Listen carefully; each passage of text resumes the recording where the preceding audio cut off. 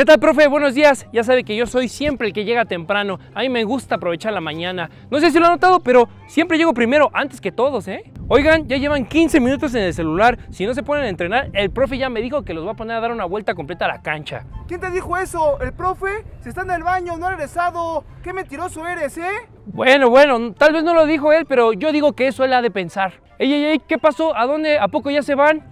Pues sí, ya terminó el entrenamiento. ¿Y eso qué? Yo me voy a quedar a ayudarle al profe a juntar todo el material. Es más, si tú no te quedas, le voy a decir que hiciste mal el ejercicio.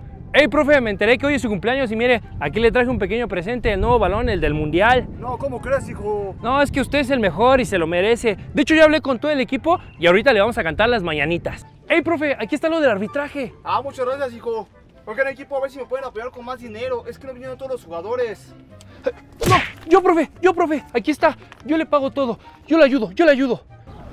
Oye, hijo. Ven tantito, ¿no? Eh, ¿Qué, profe? ¿Por fin me va a nombrar capitán del equipo? No, a ver si pueden recoger la basura de todos. Es que me dejaron un buen. Ah, sí, profe.